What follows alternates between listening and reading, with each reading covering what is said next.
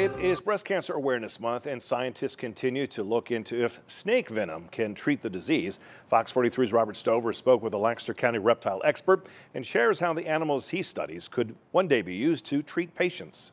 This is called a fork hold, and so this is just making sure that we're controlling the bite radius. Meet Chester, an adult Gila monster with a venomous bite. But don't let the word monster in the name fool you. Chester's bite may be a force for good. We try to teach folks that every animal that they run into has a purpose.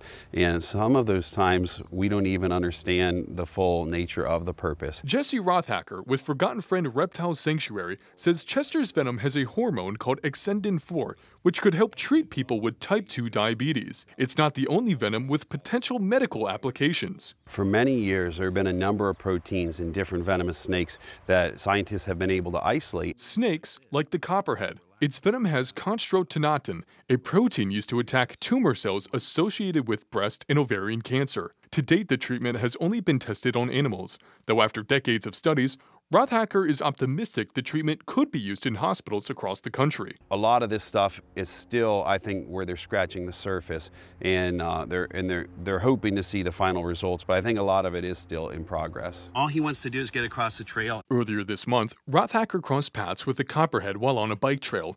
He posted the encounter on YouTube to remind people about other animals to look out for. This here is Rita. She's commonly referred to as a black rat snake, but her real name is an eastern rat snake. She's not venomous, but is local to Pennsylvania. Now, even though she's not venomous, there are a few things you should look out for if you see snakes like her. If you see a snake like this crawling in your backyard, just take a picture from a safe distance. You're welcome to send it to us. You can um, message us through Facebook or Instagram or, or text it to us, and we'll let you know for sure what it is. Robert Stover, Fox 43 News.